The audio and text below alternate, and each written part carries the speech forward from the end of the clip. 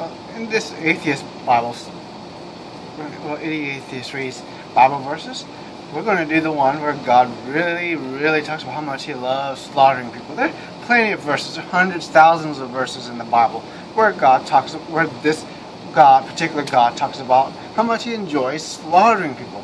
And just like in the New Testament, He talks about how much He can't wait to send your ass to hell. And this one, how much He can't wait to kill you, slaughter you, everybody that you love, and everything. He just enjoys it. It's like His thing in the world. It's how He gets off. Obviously, He doesn't exist. But, you know, when you read throughout the Bible, you know, He slaughters people for not killing the people, for not killing people. If you don't, if he tells people to go out and murder, and you don't want to go and slaughter anyone because you know you just don't like the idea of killing somebody, he'll kill you. He'll do a lot of horrible things to you. That's just how this God is. But here's one you'll like Isaiah chapter 63. Who, and of course, they like to use this verse also as the Jesus verse. Who is this that cometh from Edom with dyed garments from Bozrah? This that is glorious in his apparel, traveling in the greatness of its strength. I that speak in righteousness, mighty to save. Wherefore art thou red in thine apparel, and thy garments like him that treadeth in the wine fat. I have trodden the winepress alone, and of the people there was none with me. For I will tread them in my anger, and trample them in my fury, and their blood shall be sprinkled upon my garments, and I will stain all my raiment. For the day of vengeance is in my heart, and the year of my redeemed is come. And I looked, and there was none to help, and I wondered that there was none to uphold. Therefore my own arm brought salvation unto me, and my fury it upheld me. And I would tread down the people in my anger, and make them drunk in my fury, and I would bring them down, um, bring down their strength to the earth. And of course, I got this inspiration to do this particular verse by watching a video by the Bible Reloaded. It was, you know, atheist atheist Bible study, episode 131. If you want to see theirs, it's actually better, but you know. And as they'll show you in their video, and I'm going to show you here, this is how much he talks about how much he wants to kill you. All of this, all of this. This is how much he loves you. This is how much he wants to kill you. This is how much he loves you. and of course, as they try to claim that this is also about Jesus and all this stuff, you know, they'll tell you all that stuff because, you know, they'll show you all these wonderful verses. This is how much that the Christian and Jewish God wants to kill you. It's like, you know, if you watch the Quran reloaded, you know, the Quran study, you read the Quran yourself it's always God wants to slaughter you, God wants to kill you, God wants to slaughter these people and those people. God loves you. God's love. He wants to kill, kill, kill, kill. God's love. Kill, kill, kill, kill. God's love. Same thing in this book. You know, slaughter these people and these people and these people. But I'm all merciful and forgiveness. Now I'm going to kill you. Now, of course, someone who's really, of course, they have no idea what mercy and benevolence really is. If they did, they realize, they would realize this isn't mercy and benevolence.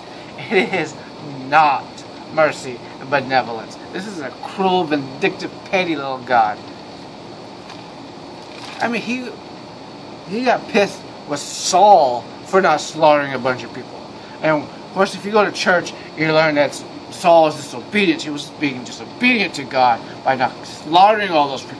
And of course, some apologetics, they'll tell you, well, they had to slaughter all those people because they had to make sure none of the uh, their pagan worship and all that stuff got caught up into their religion. They didn't start copying that. Okay, why did they slaughter all the children and babies? Well, they would have seen all that and they would have copied it. Yeah, but he didn't. But this God of yours didn't mind them taking the little girls and raping the living hell out of them. Well, that's mercy. As Matt Dillahunty and others will tell you, religion will make you believe some really batty things. Just think about how much he loves slaughtering you. Now for the second part of my video. And let's just, you know, lighten the mood with this. Because some people take things more seriously than they should. And this video is a warning to all you men out there, mainly to men more than anyone else. because you have two balls, a baseball bat, and a catcher's mitt, there are a lot of people that really don't like you, especially if you're white. I hate to tell you that. I know how that sounds, but go to thecollegefix.com, go check check out the internet, listen to what these social justice warriors are doing. Look at what's happening on these college campuses. Automatically, you are a scoundrel. Of course, if you're a Muslim, you're okay. They love you then, you know. And of course, if you read, you know, history of the jihad and crusades, you realize the Muslims are not like the Europeans. This is a thousand years ago because the Europeans allowed their women to speak, allowed their women to have opinions, and allowed their women to speak to other men while they were not around. But hey, we're supposed to believe that these men were evil. I'm sure some of you may have seen on the news, for example, this man at some sporting event, I think it was a sporting event, finds a two-year-old two-year-old little girl running around. She, he tries to help people, and witnesses even say he tried to help the little girl find his family. The family thanks him by beating the hell out of him, putting his address and everything on Facebook, and destroying his life. That's how they thanked him. In Australia, a man was taking pictures of his child near a Star Wars display a few years ago. A woman saw that, took a picture of him, put him on Facebook, and completely destroyed his life. He got death threats and everything. Another man was out to lunch with his two daughters. A woman came up to him and called him a pedophile and all this stuff. And of course, by being a man, you know that all of a sudden women think you want them and interested in them. They'll yell and scream at you for it. I've had that happen to me. You go to YouTube, you see what happens. You say hello, or you help a woman open a door for them. They get upset. If you're a man, do not ever, ever, even if you're a woman, you really shouldn't do it either. Don't help. Don't just help a child that's lost. You shouldn't really do it. Call the police, call security, let them know where the child was. Get somebody that works there. You should not take it upon yourself to do it. I know how that sounds, but seriously, you don't want to get in trouble because a lot of these parents, they're nasty people. I used to be a teacher. I know other people to be a teacher, trust me. A lot of these people who have children can be pretty damn nasty.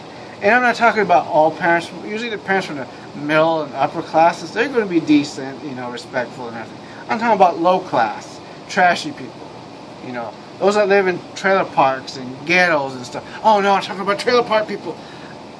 Most people I know that I grew up with lived in park. I grew up in a ghetto, so don't be like that. Okay, that's just stupid. I know they are far worse than any other group. You don't really want to help them as much as you want to help people that higher up. But seriously, guys, be very careful. You know, like for example, you know, I, you know, had I'm walking up. I've said this in other videos. You know, I'm on the second floor, and this was in high school. This is just an example of a high school. You know, minding my own business, getting water, just walking around. Because you know, at the lunch, I like to walk around before class. Some female down on the first floor saw me. I never saw her. Didn't know who she was.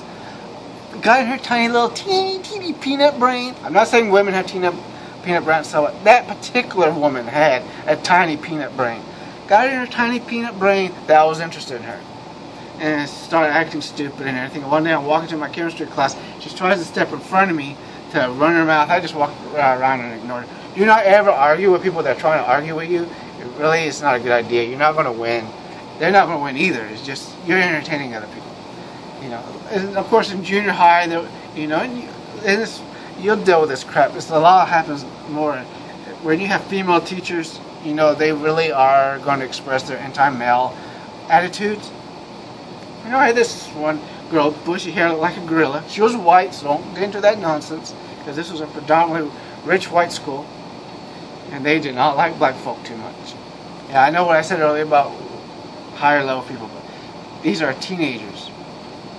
And still, you, well, you gotta be careful of everybody. People are just nasty. People, I don't care male, female, I try to avoid people as much as I can, and that's really what you want to do. They'll destroy your life over the stupidest little things. They don't care. Of course, they want you to forgive them and, you know, all that stuff, and not do that to them, but they'll do that to you. Because people are trash, for majority. But anyways, anywho, she was sitting next to me, sniff on me, act stupid and everything. One day in our English class, you know, she was acting stupid. I got fed up. I just flipped her off. That's all I got. I shouldn't have flipped her off. I should have just ignored her and let her go. she of course tells the teacher we get called outside and I told her to come back in. The teacher talks to her. Of course the teacher was female and told me, well you shouldn't be harassing her and doing this and that and well but like and you can't get a word in. They ain't going to listen to you. The fact that you are trying to avoid this female who's constantly sitting next to you and running their mouth to you. I remember, like, all throughout elementary school, you know, of these female teachers, well, you gotta go sit over there and this, because you're acting, of course, you're not, acting, I wasn't acting, I was a shy kid, staying to myself, and you see it, and I see it happen to other boys too. Read the book War on Boys, you'll see it you know. They do this crap. I remember this one teacher said, oh, all the boys are jumping up and down. Let's make them all stand in the corner. And the girls were jumping too. And I had just arrived. And we all had to stand in the corner. You know how it is. And of course, you know the court systems are on the side of women. They're against you. So be careful when you get married. Make sure you get that prenup. Be very careful. Remember this. From what I understand, if you're a man, you don't have custody of the children. Your wife does. When you go to court, when she decides to divorce you, the courts just simply decide how much visitation you will be granted. That's all the courts are going to do for you. They're not on your side. They've already sided against you. Of course, a lot of guys are, you know, treat their wives like crap, and again, a lot of wives treat their husbands like crap. And then, of course, what else? There's so much crap I could say in this. But please, if you're a man, be very careful, okay? A lot of these social justice warriors types, they don't really care for you. You know, you can check out like Steve Shives and all of them. Those type of feminists. Not all feminists, majority of feminists are okay. But you got the Steve Shives type that are just nasty people. And remember, God really loves his slaughter. He really does. Can you imagine how much I can think of about dealing with people? and men will automatically, automatically come to a woman's defense whether she's right or wrong. Because men have teeny pea brains. I did say that. So there. Bye. Men do have pea brains.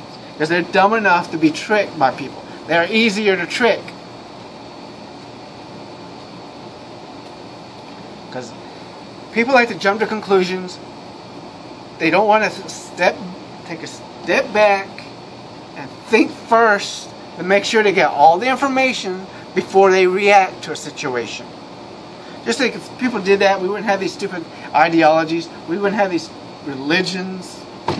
Just think about that. If people would step back, shut the hell up, and get all the facts first. Ignore your biases and all that stuff. It's like, you know, I've worked places where men cannot stand women in charge and they quit or they have a fit or they make their lives a living hell. I've seen that. Who cares? You, who cares if your boss is male or female? Who in the hell cares? Why do you care? Like I said, I really, I don't care male or female. I prefer just to avoid people as much as I can. I only do this because, you know, I'm desperate for money. Because I'm poor as hell. That's the only reason why I would do this or write my ebooks. You can find the link in the description. Oh, goodness gracious, people are something else, aren't they? They're very unforgiving. Very, very, very, very, very unforgiving. They want you to forgive them, though, and be understanding towards them. They want you to listen to them. But they don't want to forgive you. They don't want to listen to you or any of that stuff. What the hell? What the freaking hell? You just gotta love how self-centered almost everybody in this world is. Oh well, there's so much I could add to this, but seriously, just think first. If you see a couple arguing, don't just all of a sudden jump on one person's side or the other. The man may be wrong, the woman may be wrong. You don't know. And remember, heroes get the worst beatings. Bye.